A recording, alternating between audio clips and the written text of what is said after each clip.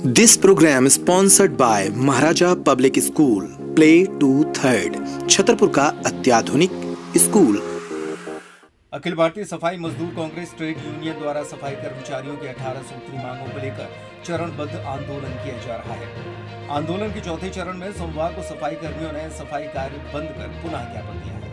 सफ़ाई कर्मी रैली निकाल कर नारेबाजी करते हुए कलेक्टर कार्यालय पहुँचे, जहाँ मुख्यमंत्री के नाम ज्ञापन सौंपा गया। यूनियन के जिला अध्यक्ष आदित्य वाल्मीकि ने बताया कि ज्ञापन में समस्त सफ़ाई कर्मचारियों के नियमितीकरण 2000 बाद की पेंशन को पुनः बहाल किए जाने। प्रदेश में सफ़ाई, ठेका, प्रथा पूर्णतः समाप्त किए जाने। समान कार्य, समान वेतन का लाभ दिए जाने सहित कुल 18 मांगे शामिल हैं। उन्होंने बताया कि अब भी अगर उनकी मांगों को पूरा नहीं किया गया तो अब एक मई को सभी सफ़ाई कर्मी एक दिवस के लिए सफ़ाई कार्य बंद कर धरना प्रदर्शन करेंगे।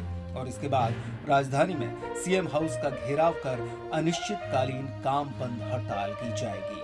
ये जो हमारी, आज जो ज्ञापन था, ये हमारे मध्य प्रदेश सफ़ाई कर्मचारियों की, समस्त सफ़ाई कर्मचारियों के लिए था, जिसमें प्रदेश आवाहन द्वारा, प्रदेश स्तरीय आंदोलन चलाया जा रहा है, जिसमें आज तीसरा चरण है, जिसमें हमने आज अंबेडकर भवन से विशाल रैली के रूप में रैली निकाली और यहाँ पर आकर ज्ञापन दिया। जिसमें हमारी मुख्य मांग है, समस्त सफ़ाई कर्मचारियों को नियमित किया जाए, ठेका प्रथा समाप्त की जाए और पुरानी पेंशन को बहाल किया जाए। समान कार्य समान वेतन का सफ़ाई कर्मचारियों को लाभ दिया जाए।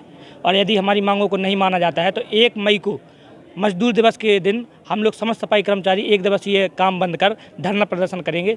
और इसके बाद भी अगर मांगों को नहीं माना जाता तो मुख्यमंत्री जी का निवास भोपाल में जाकर समस्त सफ़ाई कर्मचारी संपूर्ण मध्य प्रदेश से भोपाल जाकर निवास का घेराव करेंगे। और इसके पश्चात भी अगर मुख्यमंत्री जी हमारी बात को नहीं मानते या नहीं सुनते हैं तो हम लोग समस्त मध्य प्रदेश के सफ़ाई कर्मचारी अनिश्चितकालीन काम बंद हड़ताल पर जाएँगे, जिसके जिम्मेदार माननीय मुख्यमंत्री जी होंगे।